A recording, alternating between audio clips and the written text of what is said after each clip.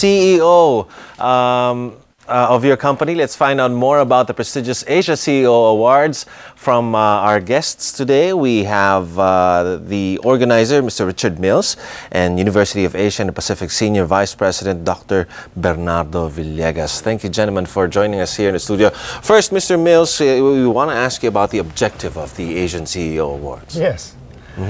The purpose is to promote Philippines. Philippines, many people don't know, but has, has emerged, we think, Bernie and I think, as a as a, an, emerging economic tiger in, in the Asia region.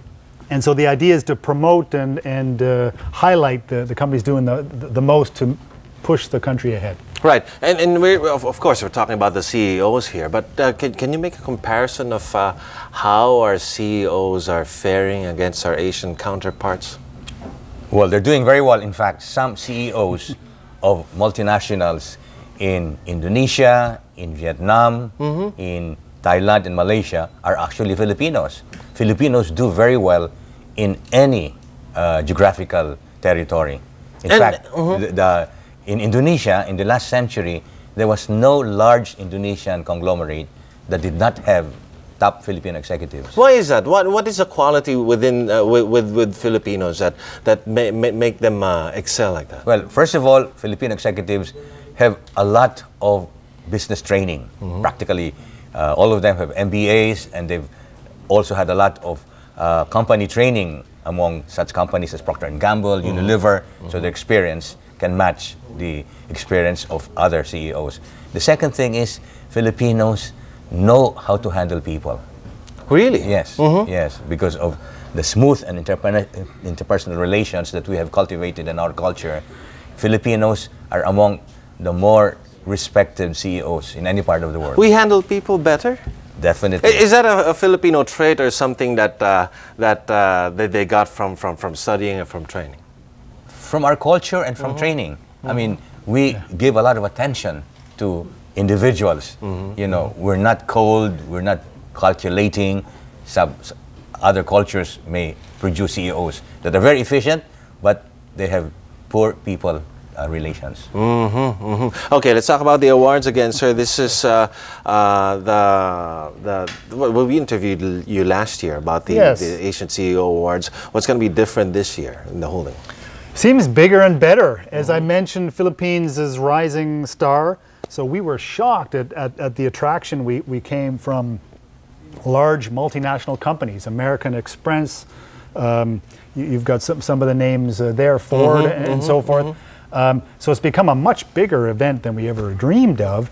And we figure now we can move it out, you know, make Philippines a hub for this throughout the, the Asia region is one idea for, for the future. So bigger and better. For the the finalists, uh, did, did you have a difficult time in, uh, in, in, in, in filtering out the, the, the number of nominees that uh, were presented to you? Yes, we, it was a challenge because there were many qualified uh, candidates.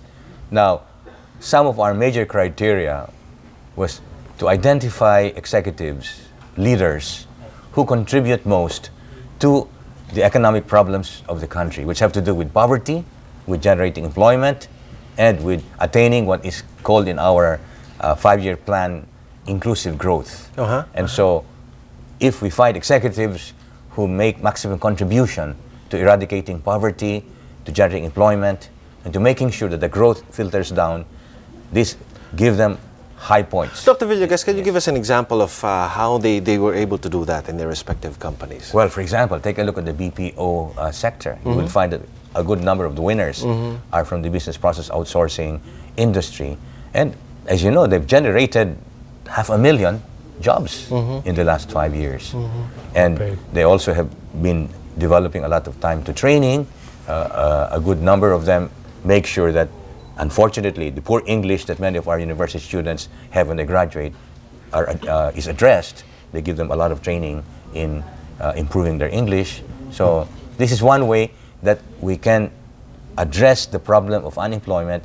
And the worst type of unemployment is the unemployment with the educated. Uh, because they've invested so much in education, they got to find jobs. Right, right, And right, this is right. where the PBO uh, sector is making a significant contribution. Okay, for this program, we also have uh, an advocacy segment, and a lot of the, the, the people I talk to um, uh, are part of companies that have an expanding CSR program. Is this going to be a major factor as well in, in the, the, the finalists that Oh, definitely. That's one Definitely. main uh, criterion.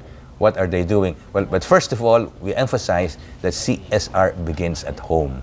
Oh. You have to treat your workers and your customers well. You know, there may be CSR programs that are worried about the mangyans and the igorots, but you take a look at the company, Right, they're right. selling milk with mm-hmm. melamine. so, mm-hmm. Mm-hmm. or they are uh, abusing their workers. So uh-huh. first, start with your intimate stakeholders and then go out once you have completed that. It, it must have been a tedious process in choosing the finalists. Oh, very much. In fact, we had uh, the help of uh, a consultancy firm to really uh, process all of the information. KPMG.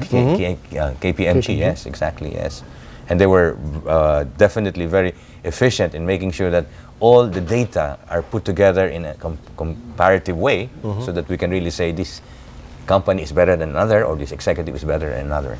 Okay, can you give us a, a, sample of uh, some of the finalists? Th- these finalists I have are, uh, are already going to be receiving awards. We have we have ten finalists here.